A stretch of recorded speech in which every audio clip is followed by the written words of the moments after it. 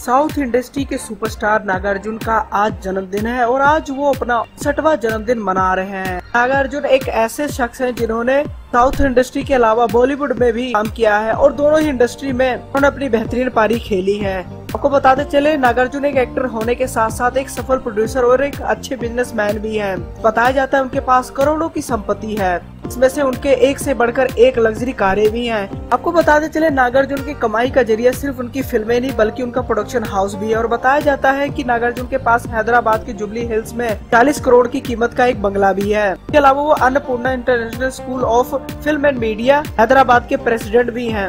अब अगर नागार्जुन के कारों के कलेक्शन की बात करें तो उनके पास एक से एक बढ़कर महँगी कारें हैं, जिनमें Rolls Royce Bentley B MW Range Rover और पोर्शे जैसी महँगी कारें शामिल हैं।